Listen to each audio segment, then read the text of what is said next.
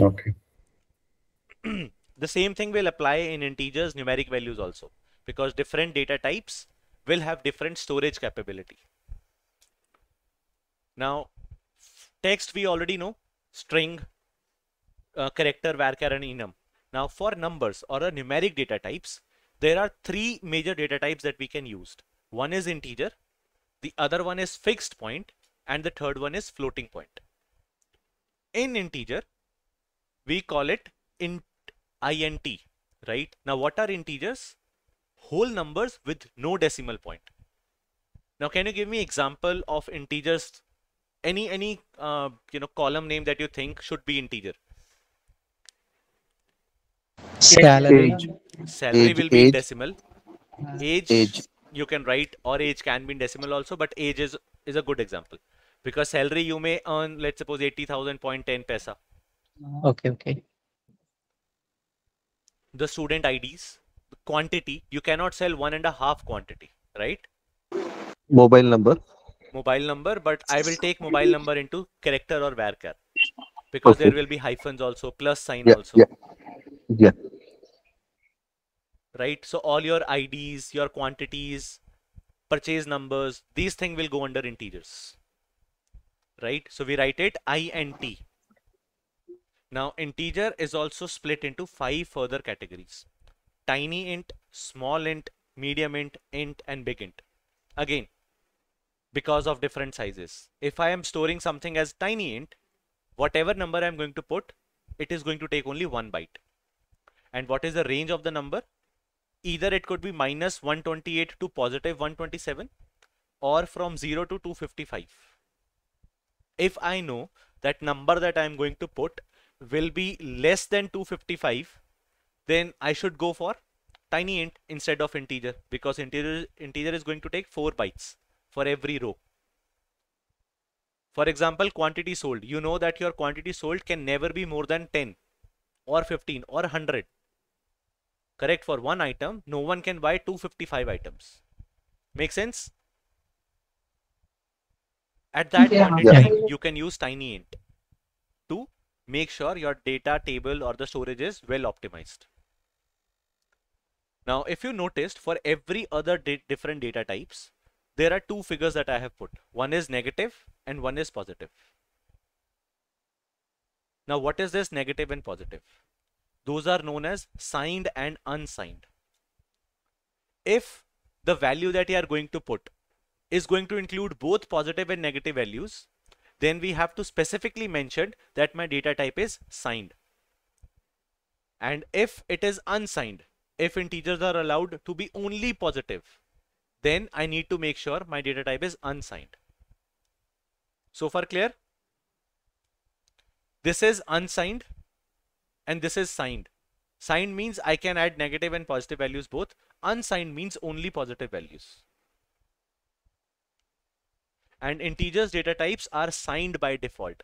If I am not writing signed or unsigned, by default that will be signed. That means by default they can take negative and positive both the values.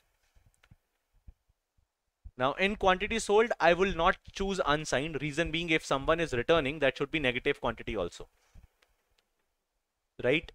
But for purchase number, I would want it to be unsigned only. So I will specifically mention integer, data type, and then I will write unsigned against it. So far clear? Now I hope you know this answer. Why should not we use big int for every numerical data type which is integer? Yeah, to, to reduce size Correct.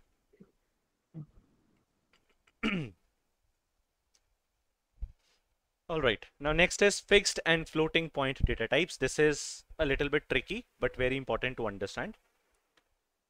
Now, if you are storing, let's suppose decimal numbers, 10.523.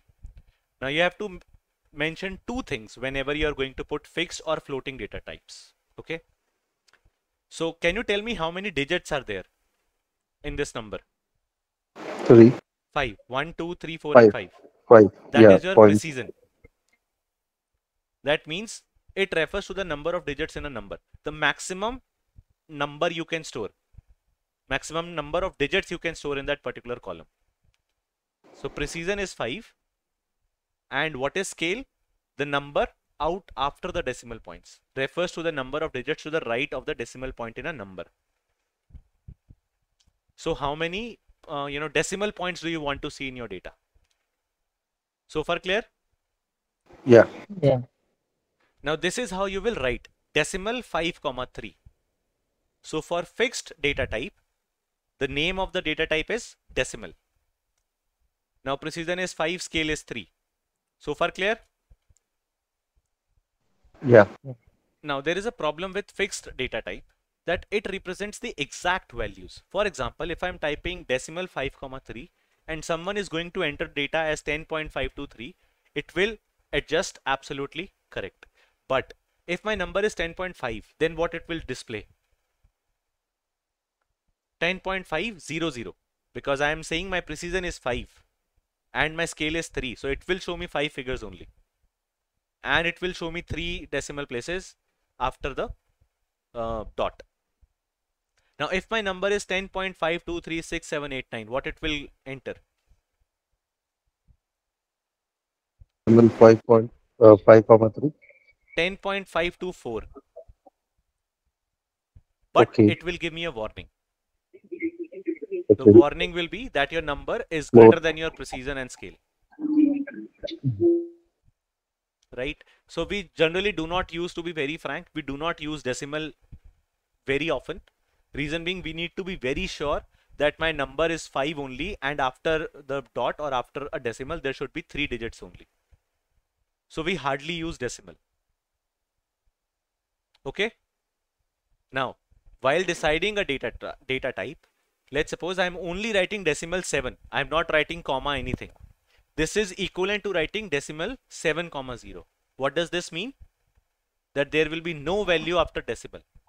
It will give me only 7 digits. Let's see again. Correct. Only 7 digits. Okay. So we can omit the scale, but writing precision is very important. It will give you an error if you do not write a precision.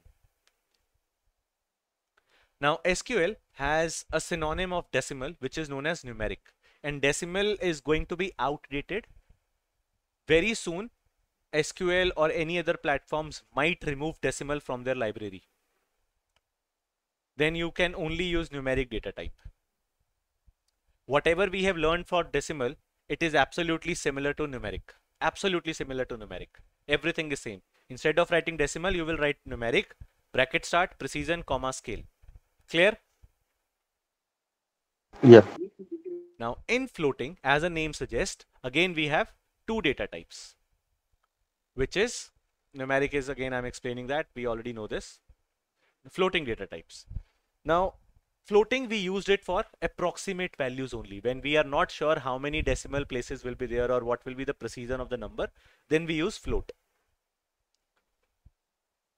It aims to balance between the range and precision. now if I am writing float 5 comma 3 and my number is 10.523 it will display me 10.523 but if my number is 10.5236789 what it will display me? 10.524 without a warning. In fixed it will display a warning. In float it will not display a warning. It will automatically round off the figure after the third digit fair enough that is the reason why we generally use float instead of decimal or numeric. Yeah. This is the difference between decimal or numeric and float. Fair enough? Yeah. Now the last one is double for the numeric data types. Now double means double the storage, double the precision digits and double the uh, scale digits. Okay, so let's suppose you are storing a value of GDP. It's a very huge digit. You cannot store that in a single digit of precision. That means GDP value is definitely going to be of more than 9 digits. Do you agree? Yeah. Right? And that is only the precision. And then in double, we can store it till double digit up to 99. So the 99 numbers that is 100000000, we can store that in double. Definitely, if I can store the larger number, it is going to take a larger size also. Make sense? So for Yeah. salaries, for you know GDP figures, we use double. Fair enough?